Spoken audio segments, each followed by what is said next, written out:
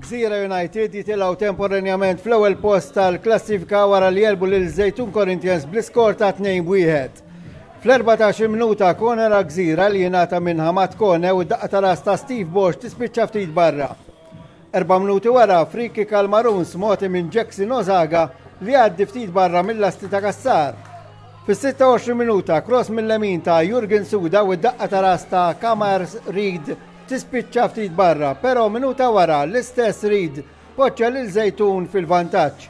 Wara kross ta' Jose Gomes, id-daqqa t'ras mill-viċin ta' Reed tegħleb għal kollox lill-goalkeeper Curmi. Fid-39 minuta, free-kick dirett ta' Hamad Kone u l-goalkeeper Cassar salva tajjeb Sabiex ftit qabel spiċċat l-ewwel taqsima, xutt angulat b'saħħtu ta' Deversin De Assis jaħbat max-xibka minn barra.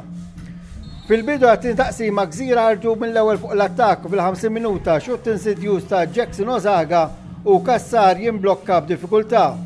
Tlet minuti wara xutt sabiħ ta' Amadu Samb u Kassar dawar f'koner Mill-istess corner li jingħata minn Uzaga wasal il-gowl ta' draw għal Messina. Meta minn taħt il-lasta b'daqqa ta' ras Amadou Sam jeleb għal kollox il-goalkeeper ta' Zejtun. Fl-74 minuta, Zejtun kienu viċin li jmorru fil-vantaġġ meta free kick ta' Jose Gomez u daqqa ta' ras ta' Luka Gama taħbat mal-lasta tal-Marun. Fl-84 minuta Gżira spiċċaw b'għaxart iplejers fil-keċċat Ga wara li ntwera karta ħamra diretta sabiex fit-88 minuta xutt ta' Jefferson Diasis għal kollox li l-goalkeeper kassar sabiex tarrebħa lit-tim ta' Gżira. Fit-90 minuta però Gżira eh, spiċċaw il-logħba b'disa tiplejers meta tkeċċa Omar Olejumi wara li dan intwera karta ħamra diretta.